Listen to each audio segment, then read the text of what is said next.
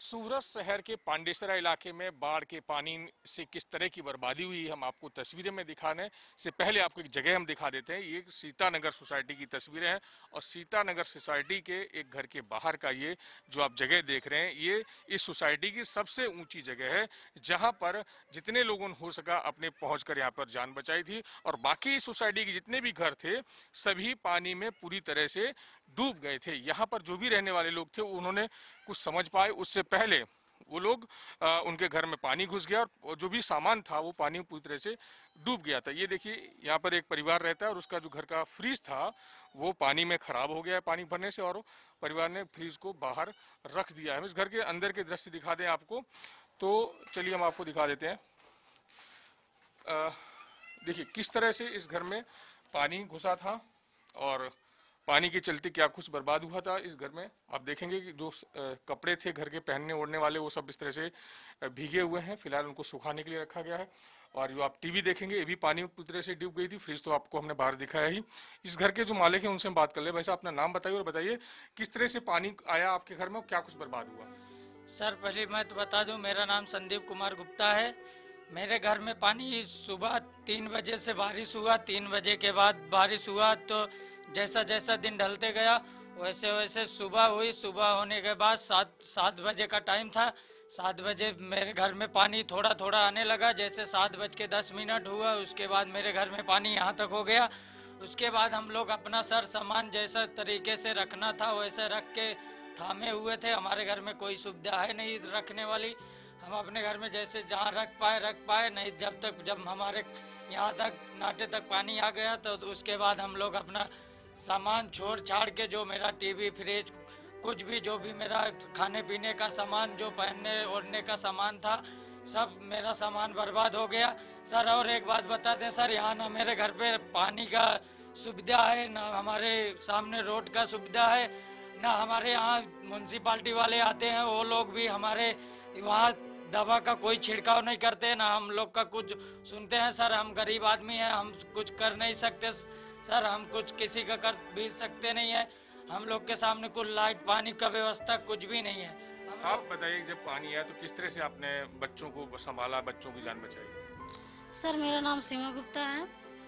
और कल कल रात में दो बजे से लगातार बारिश हो रही थी। और सुबह हम लोग तो साढ़े छः साढ़े छः पर वही छः साढ़े छः बजे हम लोग सब जब उठे तो पानी तो बहुत पीछे से आ रहा था लेकिन लगातार पानी दस या पंद्रह मिनट में बहुत तेज़ी मतलब बाढ़ बहुत जान बचाई यहाँ से निकले जब जब बाढ़ जितना आते गए उतना लोग हम लोग सामान तो पहले बचाते गए और जब आधा रूम हमारा पूरा पानी में हो गया ज़्यादा से ज़्यादा पंद्रह या बीस मिनट के अंदर उसके बाद जितना सामान हो सका हम लोग बचाए थे उतना पैक कर रहे थे लेकिन जब पानी भरता गया तो सामान पूरा जितना थामे थे वो भी पानी में गिरता गया। वही जो कागज़ पत्र था हम लोगों का वही निकाल कर हम लोग दूसरे के रूम पर गए थे और बाकी पूरा सब खराब हो गया। बिल्कुल, जिस तरह से इस परिवार ने हमारे साथ अपना दर्द बयान किया है कि किस तरह से, जो बाढ़ का पानी था, उनके घर में किस तरह से बर्बादी की है और किस तरह से उनको नुकसान हुआ है, ये उन्होंने अपने शब्दों में बयान किया है। अब हम आपको दूसरी तस्वीरें हम आपको दिखाएँ। तो ये जो इधर आप देखेंगे, ये एक नाला बहता है और इसे यहाँ भाषा में खाड़ी कहा जाता है। और ये, यही खाड़ी का पानी है अचानक बढ़ गया और यहाँ जितने लोगों के घर हैं उसमें पानी घुस गया। और देखिए ये ये नाला फ़िलहाल शांत रूप से बह रहा है लेकिन इसी नाले ने उफान मारा था और उफान के चलते यहाँ के जितने भी घर हैं सभी के घर को डुबो दिया था। एक घर और है हम उनसे बात करते हैं देखते हैं उनके घर में किस तरह का नुकसान हुआ है। चलिए क्या नाम भाई साहब आपका? कितना कुछ नुकसान हुआ है बताएँगे अपने घर में? तो सब चल चुके हैं पानी से भीग भीग के। अबे क्या है, कपड़ा लगता है, बच्चों को तो मैं कुर्सी पे लुटा है खड़ी वगैरह सभी भीग गए, अब क्या करें, कहाँ पे रख सकते हैं? पानी, सर, पानी ऐसा आया है कि दो मिनट भी नहीं लगा हम लोग, सिर्फ़ दूध ले लेने में नाके गया, नाके से आते आते पानी रूम में घुस गया। ऐसा हालत हुआ। देखिए तस्वीरें जरा दिखाई कैमरा किस तरह से घर में घर में सब जो भी इनके यहाँ खटिया, बेड जो भी था, सब भीग चुका है किस तरह से बच्चों को कुर्सी पर लुटाया गया है। बच्चे कुर्सी पर लेटे हुए नज़र आ रहे हैं आपको। क्या कुछ तकलीफें हुई इस पानी की वजह से आपको? यही हुआ कि मेरे बच्चे को भी सर्दी खांसी हो गई, वो भी देखो, हम लोग रात भर सोए नहीं पानी की वजह से। ये सब कपड़ा भीग गए, हम लोग देखो, उस पर अपने बेड, कुर्सी पे सुलाए अपने बाबू को। और क्या परेशानी? है आलू सब हो गया, और इतना बड़े आदमी है नहीं। गाल गाल के सब रात ही में डाल डाल के ऐसे रखी हम्म, ये सब मेरा आलू वालू सब। तो चावल वगैरह तो फेंक दिए जो बिक गया था बाकी जो आलू वालू प्याज वाज बचा था धो के सब रखा हूँ। क्या करूँ? सब पूरा बारिश से सब पानी ही गिर रहा था। दूसरे घर की दूसरे घर की हमने तस्वीरें आपको दिखाई हैं। और यहाँ भी वही नज़ारा है जो बाकी घरों में है। इसी तरह से अ, और भी दृश्य हम आपको दिखा दें। दृश्य अब आपको दिखा देते हैं कि किस तरह से यहाँ पर अभी हल्की बारिश भी शुरू हो गई है और हम आपको बताएँ यहाँ पे और बंदे हैं। आप बताइए कि किस तरह से यहाँ पे तकलीफों का सामना कर रहे हैं। Sir, just minute, sir. यहाँ पे सर, जितने भी सर वर्कर लोग एरिया है सर वर्कर एरिया सर यहाँ पे जो भी इतनी जल्दी पानी यहाँ पे आया सर किसी को पता तक नहीं चला। कपड़ा, बिस्तर शॉर्ट सर्किट टीवी फ्रिज सब नुकसान हो गया सर सब के सब बिक चुका है ए टू जेड सर एक मिनट का भी टाइम नहीं मिला सर किसी को भी।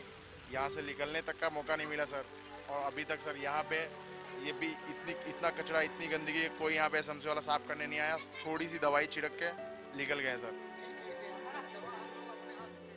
यहाँ के लोगों ने अपने हाथ से दवाई छिड़का है सर देखिए, सूरत के सीतानगर की ये तस्वीरें हैं जहाँ पर बाढ़ के पानी ने लोगों के घरों को बर्बाद कर दिया है। और हम आपको दिखा दें, कैमरामैन से जरा रास्ता बता दीजिए। ये तस्वीरें जो आप देखेंगे ना, यहाँ पर कोई भी सड़क का नामो निशान नहीं मिलेगा। और जिस तरह के यहाँ के लोग आरोप लगा रहे हैं कि महानगर पालिका के लोग यहाँ नहीं आते हैं, कोई कार्रवाई नहीं करते हैं, न उनके पास रोड की सुविधा है, न रास्ता उनके बना कर दिए जाते हैं। तो ये उस शहर की तस्वीरें हैं जो हाल ही में भारत सरकार ने जिसे स्वच्छता के रूप में दूसरा नंबर प्रदान किया है। तो आप देखिए किस तरह की स्वच्छता है वो भी आप देख सकते हैं। किस तरह की यहाँ पे स्वच्छता है वो भी आप देख सकते हैं। और ये पूरी सीतानगर सोसाइटी में हज़ारों लोग रहते हैं जो खाड़ी के पानी की वजह से अ, उनके घरों में नुकसान पहुँचा है।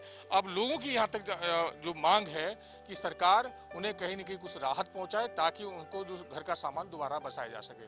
कैमरामैन साज जगताप के साथ संजय सिंह राठौर गुजरात तक।